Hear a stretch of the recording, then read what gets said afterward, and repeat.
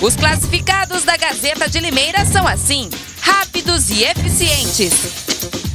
Ligue 3404-3700.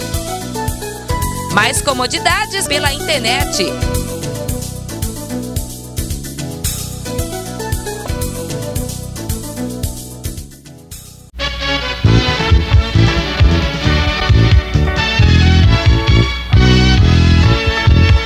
Nasceu pobre, e sem glória, sem riqueza, mas com destemor. De homens confiantes na vitória, na nobreza, na fé e no amor. Nasceu livre, modesto e valente, só a coragem do seu fundador é que fez do independente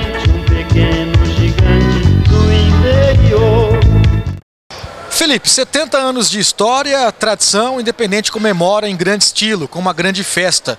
Gostaria que você falasse um pouco da sua trajetória dentro do Independente. Era torcedor e agora é diretor. Como é que foi essa transição? Com certeza, Denis. Eu vim a convite do presidente Lucas, eu conheço ele desde a infância. Ah, O Edinho, o ex-vice-presidente, também me convidou.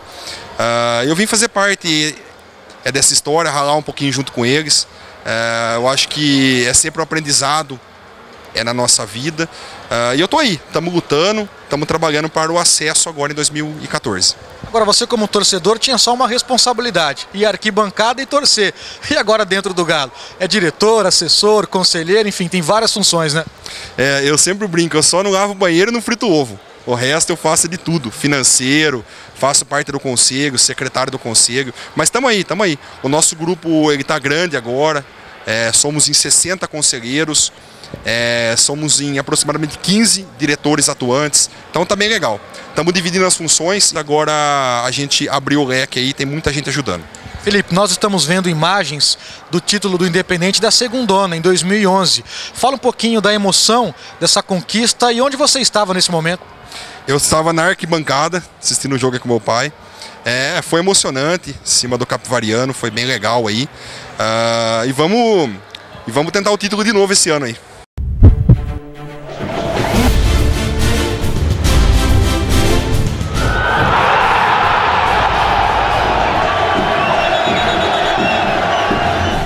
Antonioni, 70 anos do Galo e você faz parte da nova geração, né? Da nova guarda. Gostaria que você falasse um pouco desse sentimento que você tem com relação ao Independente.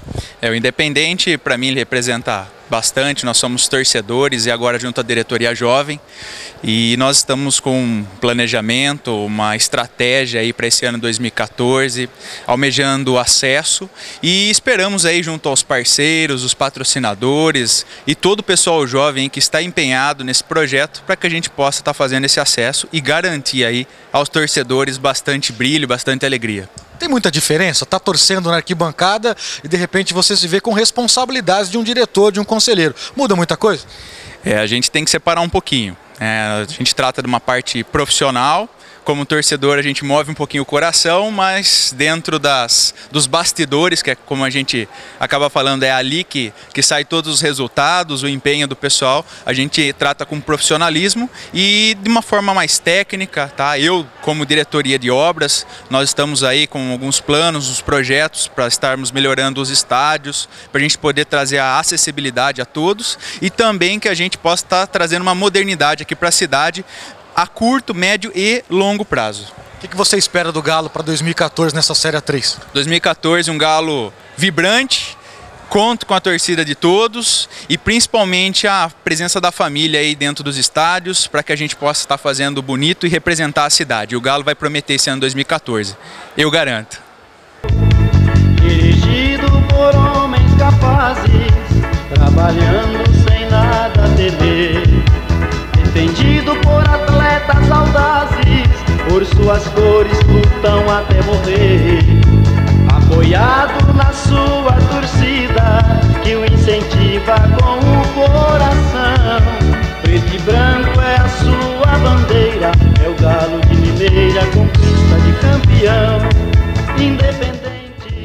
Ronald, estamos entrevistando e falando com a nova geração do Independente. Então, seu rosto, a partir de agora, passa a ser conhecido como diretor do Galo. Gostaria que você falasse um pouco sobre o dia a dia, o que você faz, dia de jogos, corre para lá, corre para cá, sempre uma correria, né? É, a correria é grande, como todo mundo sabe, a, diretor, a nova diretora independente veio da arquibancada. Somos o pessoal que, era, que éramos torcedores, continuamos sendo. E pela essa paixão no, no clube, a gente resolveu entrar de cabeça e participar do, do clube em si. E estamos aí, o dia a dia é correria, correria de jogador, correria da alimentação. É o dia a dia do, do de um clube normal numa terceira divisão de Paulista.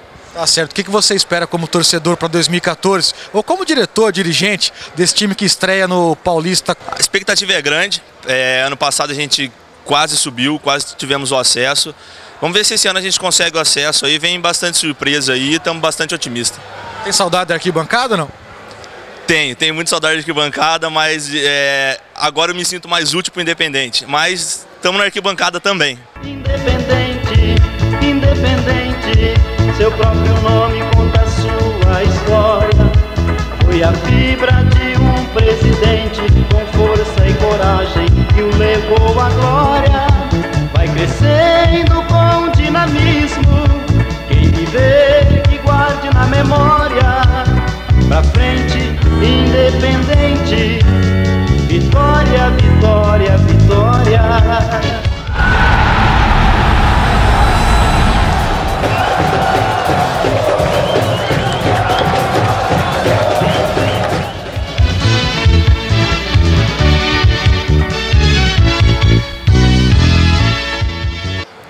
Toda a reestruturação do Independente da velha para nova guarda também passou por você, né? Sim. Gostaria que você falasse um pouco sobre isso. Boa noite. Boa noite, Denis. Um prazer aí voltar a falar com vocês, né? Depois de um período aí afastado. Uh, é verdade, a gente fez um trabalho bonito aí no, no início do ano passado, né?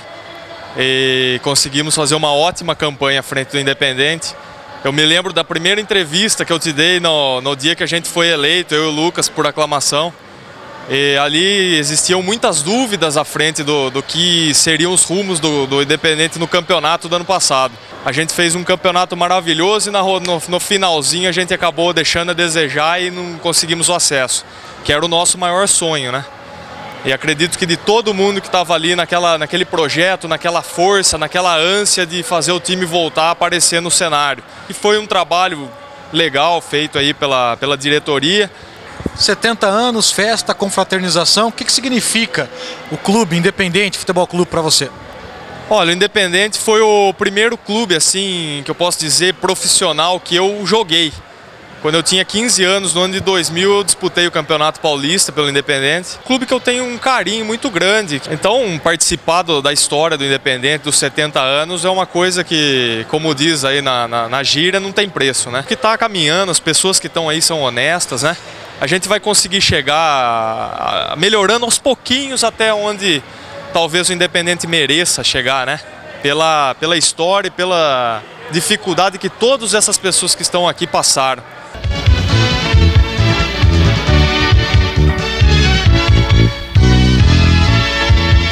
Nasceu pobre, sem fama e sem glória, sem riqueza, mas com destemor de homens confiantes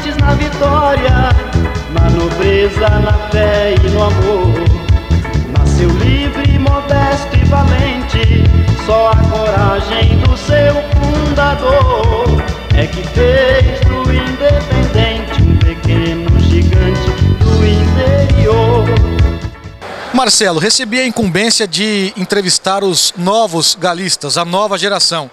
Então fiquei meio na dúvida. E o Marcelo, faz parte da velha ou faz parte da nova geração? Boa noite.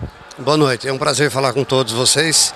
É, na verdade, eu me considero mediano. Talvez a nova geração ficaria melhor, porque eu sou adolescente ainda, um garoto, então tenho muita lenha para queimar ainda. Marcelo, em 2011 você foi o presidente que conquistou, junto com a sua diretoria, o Campeonato Paulista da segunda divisão, que deu acesso para a Série 3. Enfim, fale alguma coisa sobre esse campeonato que teve de tudo, né?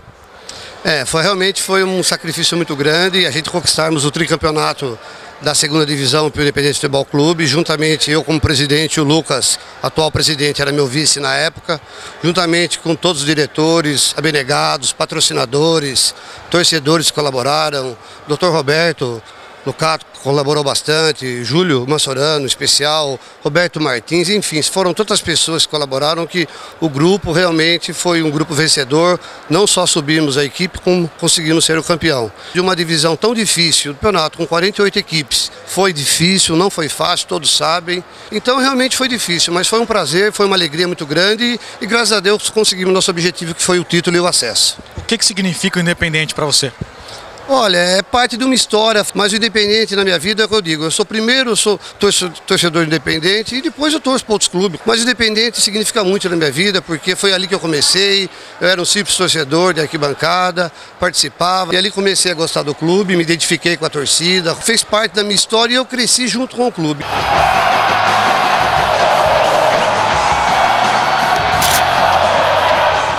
E é uma alegria muito grande, porque você consegue concatenar ideias, você consegue agregar amigos, então é uma alegria muito grande poder ter sido presidente e esse clube fazer parte da minha história desde da minha infância, digamos. Faço parte do Conselho Fiscal também, então é uma alegria muito grande poder servir esse clube.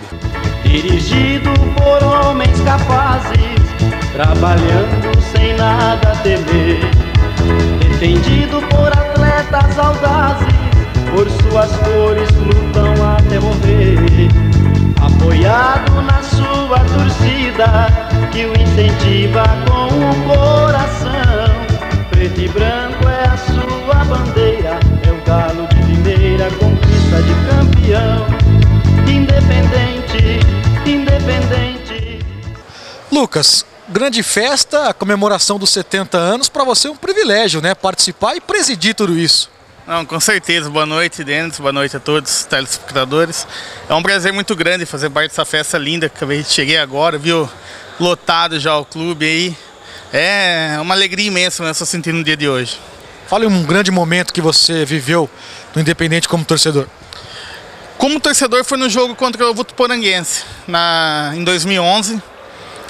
E teve o jogo contra o Rio Preto esse ano também, que é a classificação nossa para a segunda fase. Mas acho que aquele jogo contra o Votuporanguense, que o prefeito tinha decretado feriado na cidade. Uh, chegamos lá, era clima de Libertadores, torcida esperando o ônibus do Galo, chegando, tacando pedra, garrafada. E saímos de lá com uma vitória que todos nós que todos duvidavam e chegamos no outro domingo ganhando, subindo para a Série 3. Nós estamos com um salão lotado, dá para ver nas imagens todo mundo comemorando a velha e a nova guarda. Qual que é o sentimento que te reserva quando vê essas imagens? Cara, eu. Eu sinto uma alegria, uma emoção muito forte mesmo, porque eu não esperava. Quando eu fui conversar com o seu Alvo, assim, ó, precisamos fazer essa festa 70 anos, quero trazer a velha guarda de volta. Os antigos torcedores galistas, os abnegados sempre nos ajudaram. Então, para mim, é uma emoção enorme mesmo deles, que não tem, não tem palavras para dizer. Só tenho que agradecer a vocês, a imprensa, a todos que estão participando nessa noite aqui hoje. Tem saudade da arquibancada? Eu, eu, eu, digo assim, eu sou um torcedor presidente, eu não sou um presidente, assim, eu, porque eu, querendo ou não, eu não, assisto o jogo de, da, das cabines do predão, assisto o jogo no chão ali do alambrado, que costumo sempre sentar. Assim, a saudade às vezes tem quando tem, pinta os problemas, né? Que tem, pô, e agora, como que vamos resolver mais? É, como eu falo, eu sou um torcedor presidente e você sempre torcedor, o presidente vem abaixo, primeiro é torcedor. Nós estamos vendo algumas imagens da Copa Energio C. Onde você estava naquele dia? Aquele dia, a... eu era um dos responsáveis pela torcida Guerreiras Nação Galista. Em 2005, eu, eu, com meus amigos que hoje fazem parte comigo, o Vitor, o Nestor, nós falamos, vamos fazer uma torcida organizada para Independente e estava sem torcida conversando com antigos torcedores, ó, tinha guerreiros, vamos reativar guerreiros. Para mim é uma emoção muito grande, cara. É lembrar 2007, campeão, os dois jogos contra a Inter que nós ganhamos, o Bradão, Limeirão.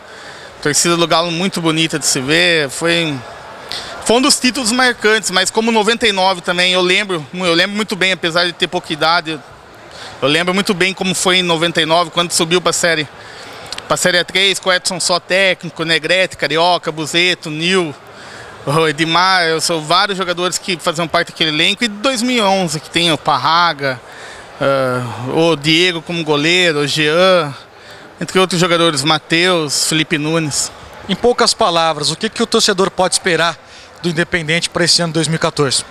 Olha, eu creio que se, se depender de nós, eles vão entrar com toda a estrutura que nós estamos conseguindo dar para eles agora. Mas creio que está sendo montado um time forte, que em alguns jogos amistosos já fomos elogiados por outras torcidas. Vamos brigar, brigar pelo acesso novamente, é tentar subir para a Série 2, que é um, é um desejo nosso, de toda a torcida galista, que merece esse acesso. Com certeza nós vamos brigar pelo acesso esse ano. Independente, independente, seu próprio nome conta a sua história. Foi a fibra presidente com força e coragem que o levou à glória. Vai crescendo com dinamismo. Quem viver que guarde na memória. Pra frente, independente. Vitória, vitória, vitória.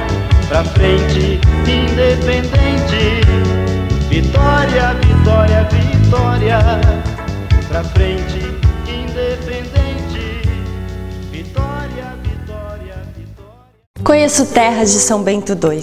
É um novo conceito de cidade, planejada, segura e tranquila. Plantão de vendas, Anel Viário Rotatória Limeira Corderópolis. Realização, Grupo Ingep, Vendas Imobiliária Foster.